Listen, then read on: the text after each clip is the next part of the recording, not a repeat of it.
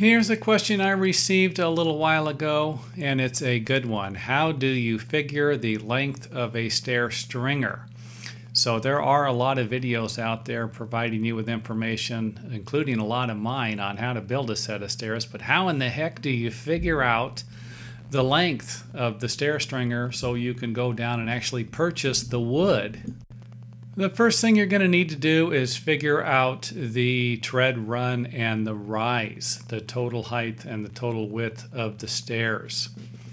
And then it is uh, the simple Pythagorean theorem a squared plus b squared equals c squared. And what that means is that you will multiply the uh, tread run, that would be a, let's say, um, the rise would be the B, and the hypotenuse or the length of the stringer, the hypotenuse of the triangle, or the length of the stringer would be uh, C squared.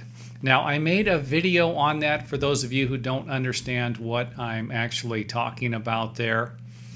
Um, you can uh, go see the video. I'm going to try and put the link in uh, right around here somewhere so that you can go check it out. That we don't got to make two videos on it.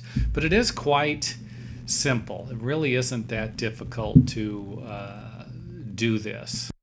Now, this works in uh, practically everything as long as it's a right angle. Has to be a 90 degree angle for the for this uh, theorem to work and uh, you can put it and uh, use it for all different parts of the home roof rafters uh, stuff like that. Now if you watch the other video you're going to get a little more information on that i think for roof rafters also. And this should give you a better idea what you're talking what we're about.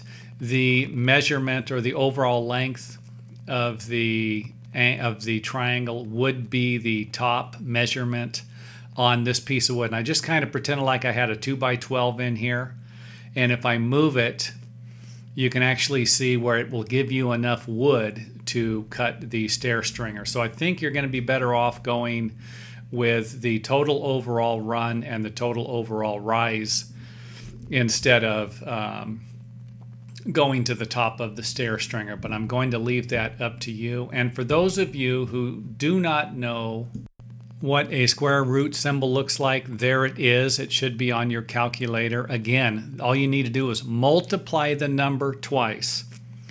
If the base is 40 inches, multiply 40 times 40.